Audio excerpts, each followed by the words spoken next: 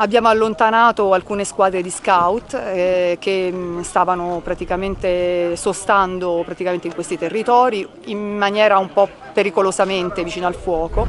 e cerchiamo di essere di sostegno in tutto, ehm, attraverso anche quella che è la nostra esperienza pregressa in materia di incendio boschivo. E naturalmente non possiamo che non preoccuparci della salvaguardia di questa che è l'area protetta e di una, di una specie particolarmente rara che è eh, la genista pulchella eh, subspecie aquilana, che è una specie endemica puntiforme la cui popolazione è seriamente minacciata e che è un unicum qui al mondo.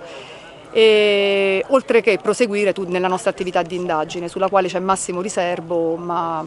che continua a essere svolta con grande impegno.